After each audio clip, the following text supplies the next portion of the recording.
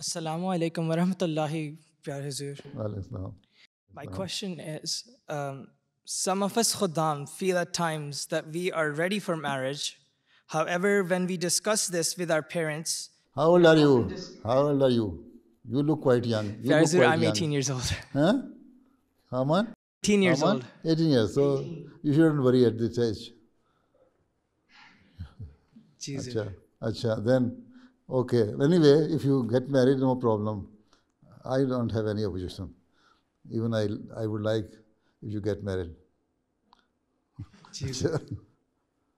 Acha, then, however, when we discuss this with our parents, then again, We are often discouraged or told that we are not we are not ready to carry this big responsibility. What is beloved Huzur's advice on discussing this topic with parents? I have already said if you get married at this age, I will be happy. so, you see, if you're, if you are irresponsible boy and your behavior is just irresponsible, which your parents can observe in you, then obviously they will say you are not um, uh, um, uh, ready to carry the big responsibility. But if you show responsible behavior, then they will not say this thing, right? The thing is that who will give you, who will be ready to marry you?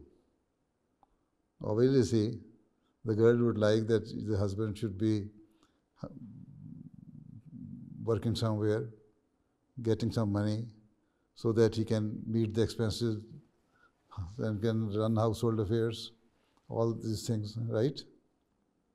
If you are ready that you can do it without depending on your parents, then you should get married, right?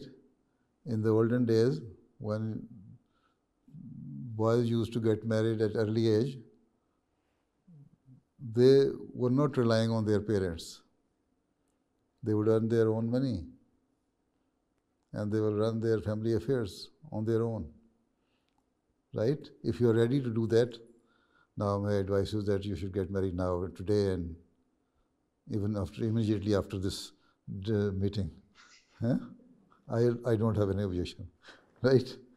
So, but if you don't have that, you see, your resources are limited and uh, you are still studying and you are relying on your parents, even on your studies. You take pocket money from, from your parents, and when you get married, then your wife will also demand some pocket money. You will ask again your father, oh, give me some more money so that I can give to my wife. No, then why? How can you get married? See? But if you are doing some job, yes, so you should get married, married as, as early as possible right? Immediately you complete your studies and you find some job, then you should get married. Okay?